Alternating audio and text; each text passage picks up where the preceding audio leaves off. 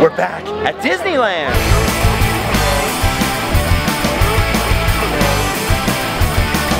Leave today and enter the world of Random Land.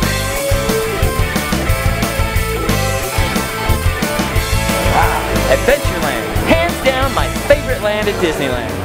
Originally conceived as true life Adventureland after Disney's nature documentaries in Asia and Africa, it quickly became a mix of all things exotic in the minds of 1950s America. Honey, come look at the jungle stuff. What it lacks in size, it makes up for in adventure. Many of Disney's greatest attractions are here. They've got Indiana Jones and the Temple of the Forbidden Eye, the Jungle Cruise, the Swiss Family, I mean Tarzan's Treehouse, and of course the first audio animatronic show in the entire world. Walt Disney's Enchanted Tiki Room. Today we're here to look at some weird and often unnoticed features of Adventureland. First up is something I hardly even notice anymore, but some guests find very bizarre. Space is at a premium in Disneyland, and a lot of people don't realize just how close Adventureland backs up onto Main Street. So close, in fact, that the Tiki Room and the Jolly Holiday Restaurant actually share part of the same building. Just look at that transition. It's so well done, almost no one ever notices it. Once you see it, it's pretty weird. Here's another strange thing. At the base of Tarzan's treehouse, some hidden Mickey seekers have noticed that this pattern looks a little bit like Jabba the Hutt? I'm almost 100% sure that's not intentional. But once you see it, it's hard to unsee it. Dang! All I can see is Jabba now! One interesting Easter egg in Adventureland that many people miss is right here on the roof of the Tropical Import Shop. This little fella right here is one of the original Tiki Room drummers that was replaced in a modern refurbishment. The extended queue for the Jungle Cruise actually ends up up there, so when the park is crowded, you can literally reach out and touch a piece of Disneyland history.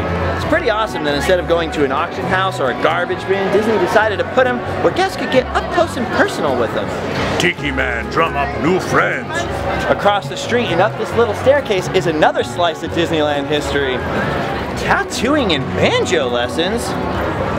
This window pays tribute to Disney artist and legend Harper Goff, who in addition to playing a mean banjo, also fought tooth and nail to try to convince Walt Disney to include a real-life tattoo parlor on Main Street when the park opened. Oh, heck yeah, man, I'm gonna give me some Mickey ears and a deckgum dragon on my neck. Now, of course, Walt thought he was crazy, and sadly for me, there's never been an actual tattoo parlor in the parks, but it did result in this pretty weird piece of Disneyland theming. Last but not least is a little secret about these guys, the Tiki Totems in front of the Tiki Room. Most of these were designed and sculpted by Disney Imagineer Rolly Crump. While carving the originals out of clay, Rolly came up with a pretty weird but pretty effective solution for how to give these characters a more realistic wood texture. Turns out that to make these little grooves and lines, Rolly needed to look no further than the Disney Studio cafeteria, where he found a couple of plastic forks and went to town on these guys.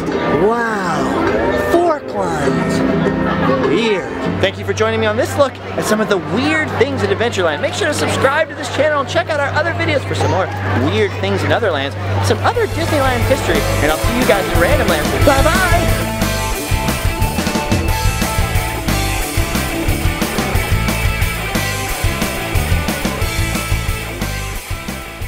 Tiki Tyler, slightly less stoked, still stoked. Tiki Stokes. What?